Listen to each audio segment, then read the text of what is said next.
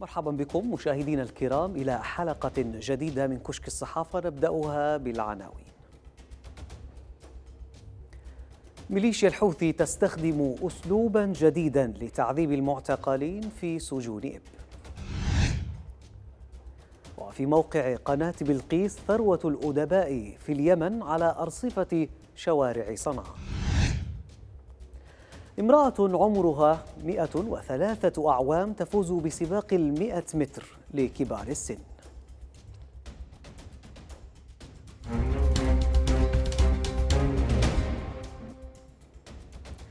يعيش الطلاب وطالبات الثانوية العامة النازحون في اليمن حالة لا استقرار نتيجة نزوحهم من مناطقهم إلى مناطق ومحافظات أخرى.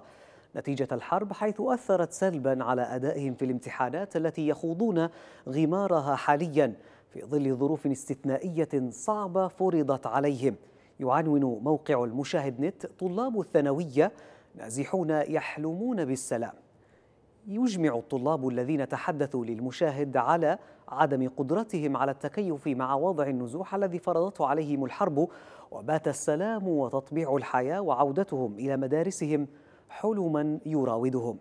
ويفيد الموقع أنه لا يوجد في المحافظات الخاضعة لسيطرة جماعة الحوثي أي تنظيم للعملية الامتحانية حيث تسودها الفوضى وانتشار الغش بشكل كبير في المراكز الامتحانية وأمام مدراء المراكز أنفسهم. أحمد النون نائب مدير اللجنة العليا للامتحانات الواقعة تحت سيطرة الحوثيين لا يخفي ما حدث من تأثيرات سلبية رافقت العام الدراسي مؤكداً. للمشاهد أن الوزارة عند وضع الأسئلة الاختبارية راعت كل الظروف السلبية التي صاحبت العملية التعليمية هذا العام. وقال إن هناك ثقافة مغلوطة لدى بعض من أبنائنا الطلاب وهي المطالبة بمزيد من المحذوفات كونها للأسف تؤثر سلبا على مخرجات التربية ومستوى التحصيل العلمي. كشفت مصادر مطلعة عن عمليات تعذيب نفسية وجسدية تمارسها, ميليشيا الحوثي بحق المختطفين في سجونها بمحافظة إب. ويعنون موقع الصحوانت عن تخزين سلاح بالقرب منهم. أحد أساليب الحوثي لتعذيب المختطفين نفسيا في إب. وقالت المصادر إن ميليشيا الحوثي تمارس منذ أسابيع عمليات تعذيب نفسية وجسدية لعشرات المختطفين في سجونها بمدينة إب. وأضافت المصادر أن الميليشيا مكنت أطفالا حديثي السن تتراوح أعمارهم بين 14 و 15 عاما استخدمتهم من خارج المحافظة للقيام بالتحقيق مع المختطفين وهم من يتخذون القرارات.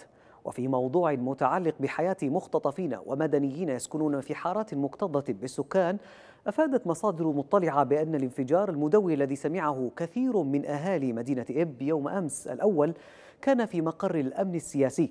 ويعتقد بأنه ناجم عن خطأ أثناء إعادة التصنيع لمعدات عسكرية يجري إعادة تركيبها وصناعتها من جديد. وتحدثت المصادر بأن الانفجار وطبيعة ملابساته يعرض حياة المدنيين والمختطفين للخطر حيث يقع أحد السجون بالقرب من معامل التصنيع التابعة لميليشيا الحوثي.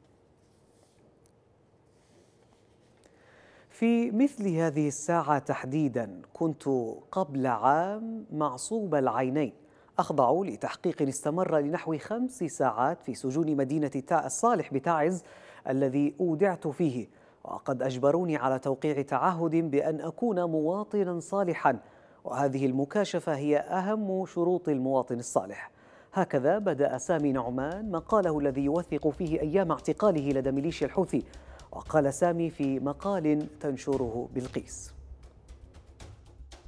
قبيل مغرب الحادي والعشرين من يونيو عام 2018 كان عشرة مسلحين يستقلون طقما حوثيا يقوده شخص يعرف بالقذافي يحاصرون بيتنا في قرية المصاعد بمديرية ماوية. أتذكر طفلي معتز ذا التسعة أعوام وهو يوقظني بعدما نمت لتوي بعد طول إجهاد وسهر وصيام. خرجت إليهم وأنا ألف المعوز حول نصفي الأسفل ولبست القميص دون أزرار. سألت القذافي خير؟ قال ما بالله يا أستاذ أبو ماهر المشرف الأمني لتعز؟ قال تجي ضيفنا ساعتين. قلت له طيب تفضلوا نفطر ونروح. قال إحنا مستعجلين. ولو صدق لقال أيضا خائفين. وصلت مدينة الصالح حوالي الثامنة مساء وسجلوا بياناتي وأدخلوني الزنزانة الشقة الثالثة والثلاثين في عمارة يشرف عليها المدعو أبو يحيى. كانت مغلقة النوافذ بالأحجار ولم يتبقى من كل نافذة إلا فتحة أو اثنتان بحجم كف اليد. وهذه هي الزنازين التي يطلقون عليها الضغاطة.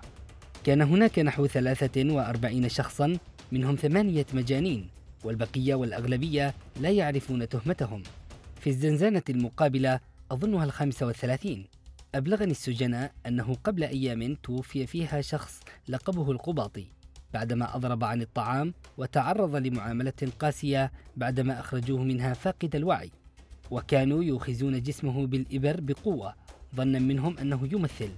بمجرد أن تدخل الزنزانة يلتم السجناء حولك ليعرفوا كل شيء. كانوا ينتظرون كل جديد يدخل إليهم ليغير القديم المستهلك القائم ولا جديد سوى مختطف جديد يسمعهم قصته. يسألونك بكم القلص الشاهي خارج. عاد بوناس وأسواق والزفلت. عادوا موجود وإلا قد بزوه كتائب حمل. بإيش جابوك إلى هنا. بحمار. في تلك الغرف تفترش البلاط وأحيانا قطع الشوالات التي يجلبون بها الكدم لأن البطانيات والفرش مع غياب التهوئة تكون ممتلئة بالكتن والقمل.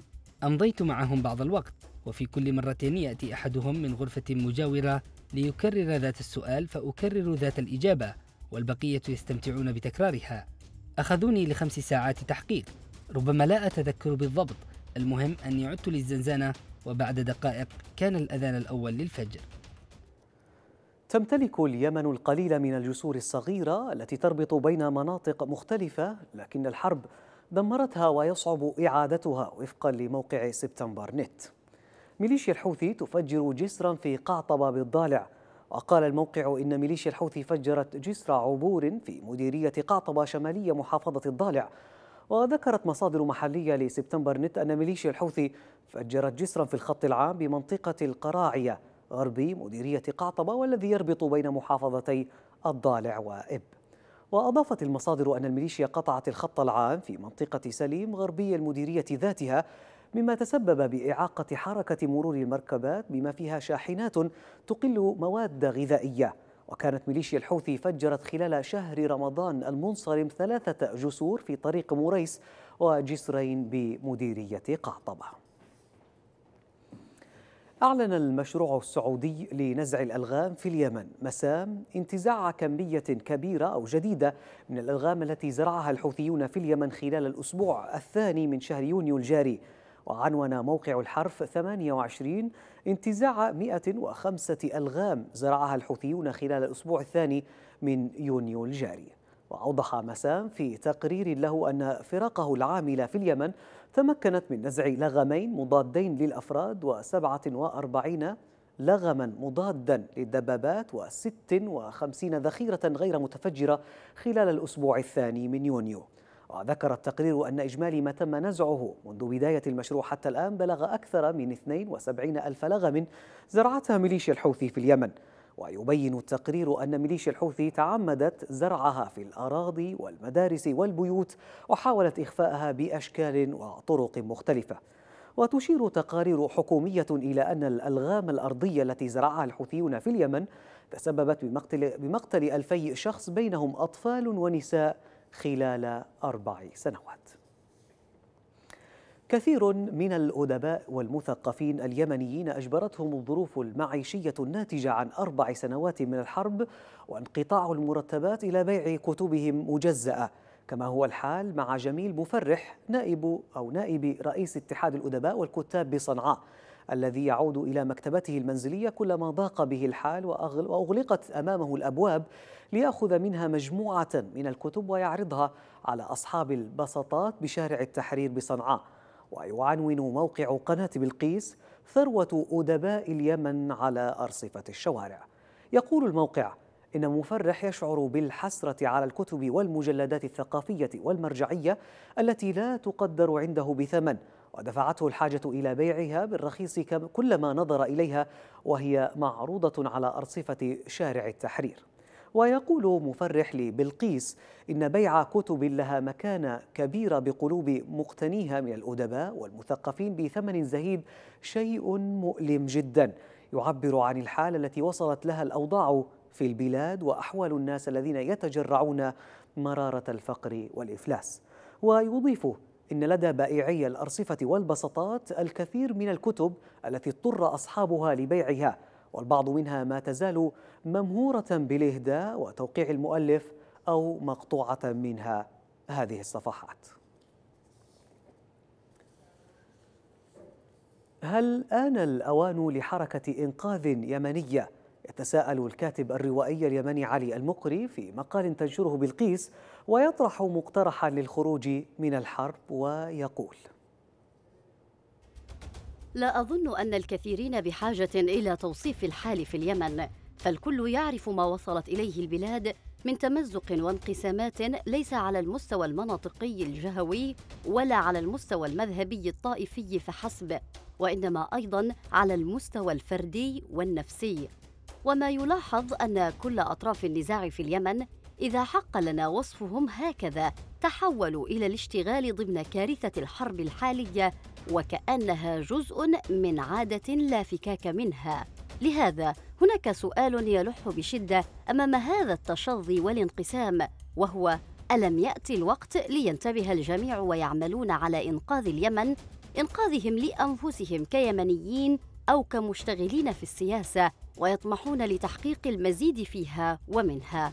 بل أقول إن السؤال يتسع أكثر ويصير ملحا لدى كل الأطراف الإقليمية التي لها دور فاعل في اليمن وبشكل الرئيس السعودية والإمارات وقطر وإيران.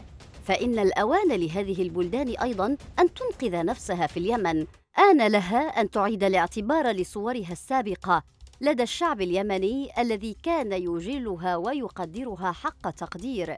آن لها أن ترمم صورها مراعاة لمصالحها الآن وفي المستقبل ولأمنها أيضا بعد أن تمزقت هذه الصور في ذاكرة معظم أهل اليمن حيث صاروا منقسمين في الموالاة بين هذه الدول إلى حد العداء لأي دولة مخالفة للدولة الداعمة لهم.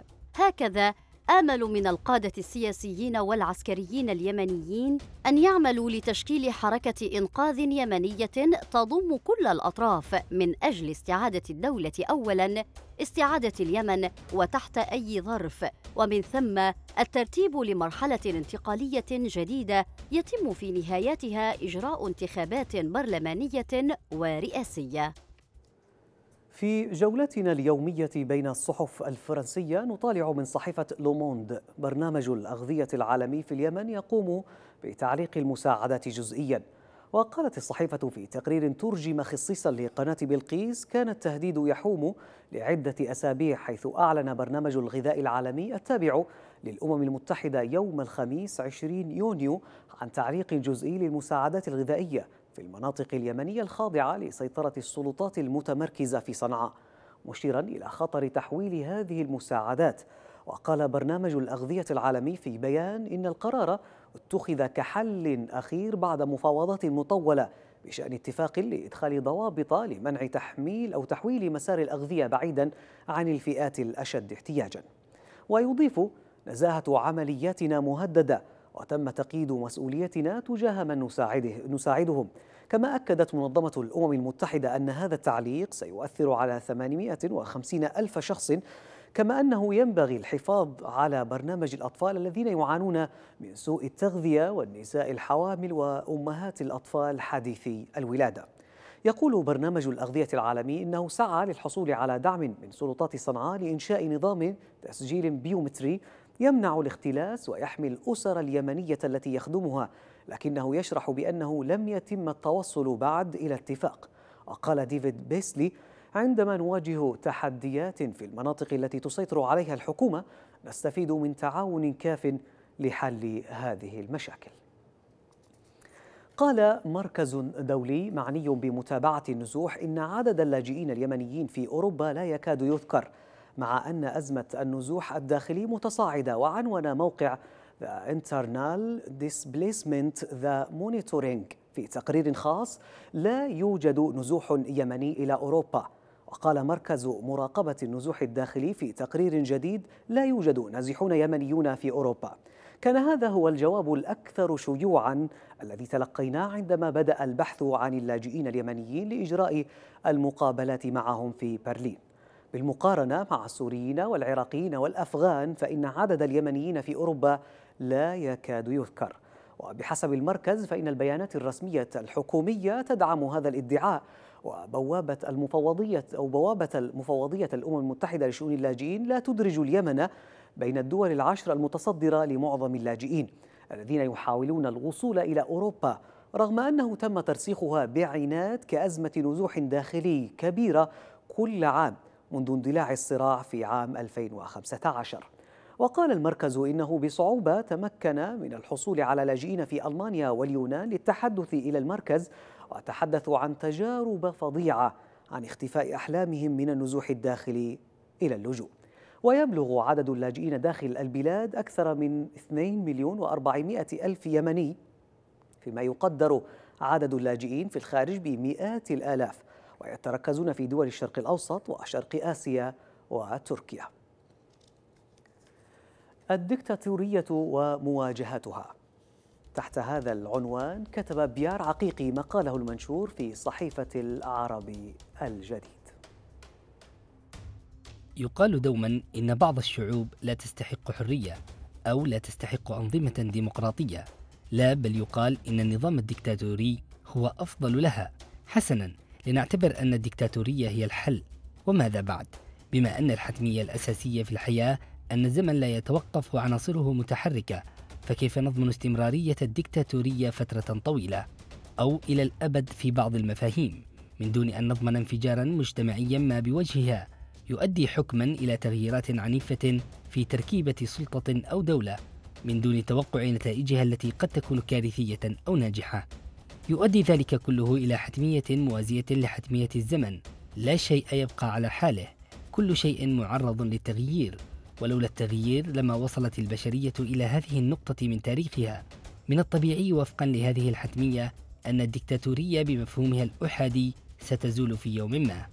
أيضا لا يمكن السماح بتسليم أوطان أو إدارتها من أشخاص يدعون حرصهم على الحريات والمواطنة وحقوق الإنسان وهم في الواقع عنصريون مستترون أو طائفيون أو أتباع المذاهب الدكتاتورية في السلوكين الفردي والجماعي. أمثال هؤلاء يصبحون طغاة فنعود مجددا إلى الدائرة الأولى وكأن شيئا لم يكن. لا يمكن السماح لمؤيدي فكرة الدكتاتورية في العالم العربي بالاستمرار في تسويق طروحاتهم. فهم يريدون حكما ديمومة هيكلية مبنية على الفساد وسوء استخدام السلطة والقمع.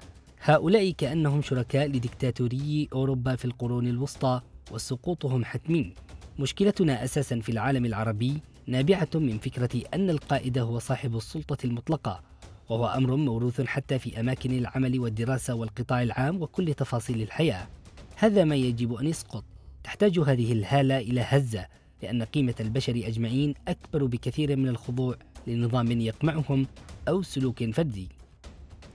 قال الرئيس الأمريكي دونالد ترامب إن الجيش الأمريكي كان مستعدا وبجاهزية كاملة لضرب إيران لكنه غير رأيه قبل عشر دقائق من الضربات المخطط لها. وتعنون شبكة البي بي سي البريطانية ترامب يتراجع في لحظة التنفيذ عن ضربات عسكرية وافق عليها ضد إيران. وكان الرئيس الأمريكي قد أقر خططا لتنفيذ هجمات على ثلاثة مواقع ردا على إسقاط إيران لطائرة أمريكية من دون طيار. وقال ترامب إنه ألغى الضربات عندما قيل له إن 150 شخصا سيذهبون ضحايا لتلك الضربات.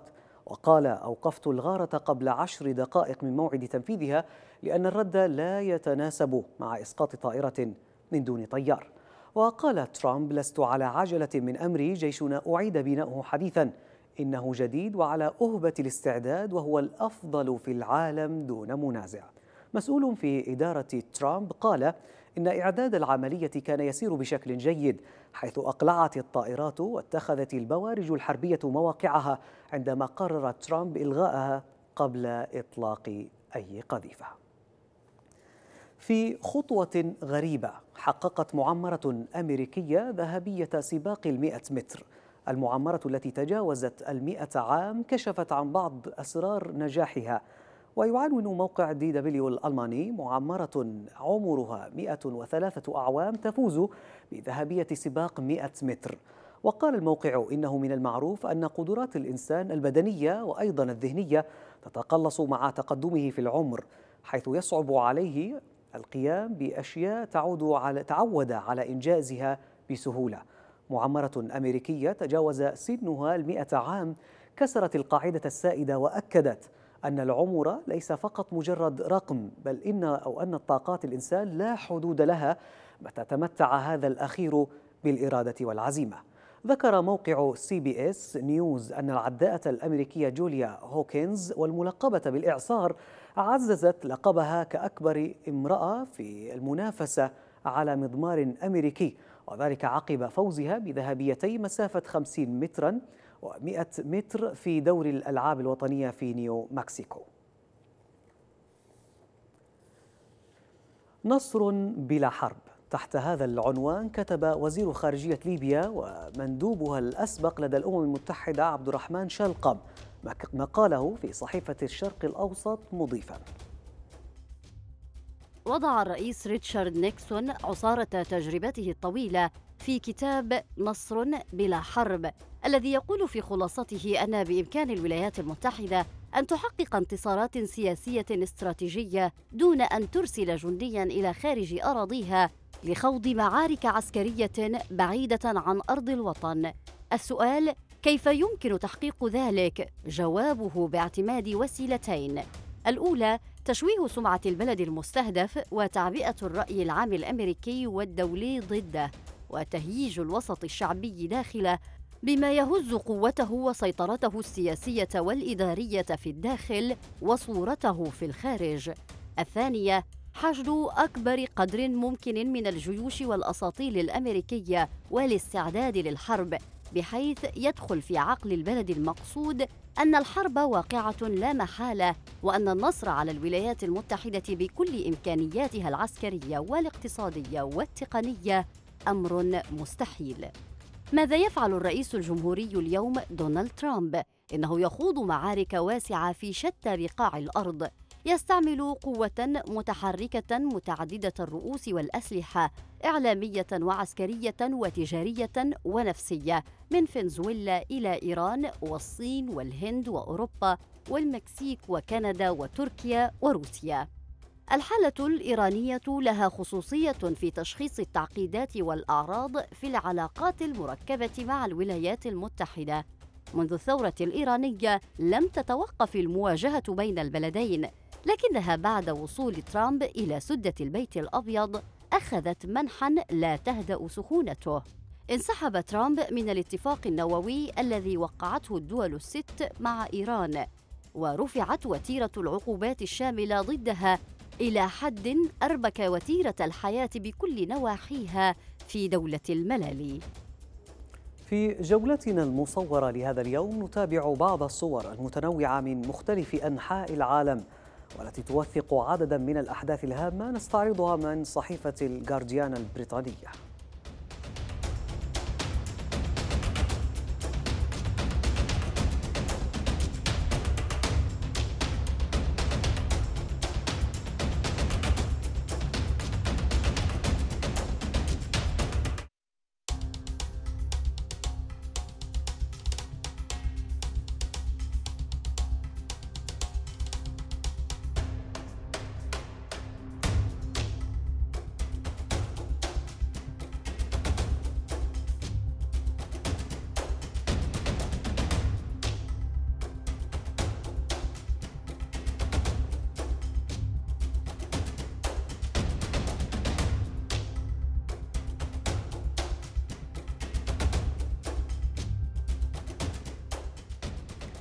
فن الكاريكاتير الذي يختصر آلاف العبارات يعلق صورة في الذاكرة حيث تعبر رسمة واحدة منه عن أحداث مختلفة عجزت الكلمات عن التعبير عنها.